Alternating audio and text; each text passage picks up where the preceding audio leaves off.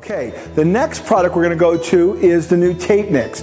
Everybody's walked into a shop before and seen blue tape on a drawer or a door to pull it open. Well, Tony from Long Island came up with an awesome new product, and he's actually an outside salesperson. He said, Why does everyone have these blue tape on here when we could just make a special plastic clip? And Ken, go ahead and come in on this one, and we'll show you what this looks like. So this is this cool little clip that's an eighth inch thick right here. Got a little bit of a tension on here, so when it mounts onto the door, it's got a little pressure. It's very smooth. It won't scratch the door. It's got a little handle. It's called the Tape NIX.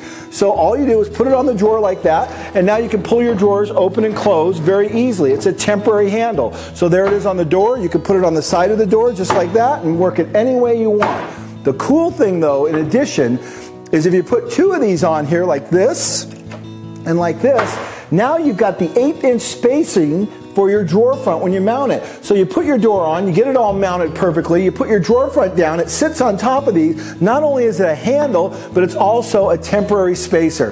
Very cool. A customer gets his cabinets, he hasn't decided or she hasn't decided what handle to put on.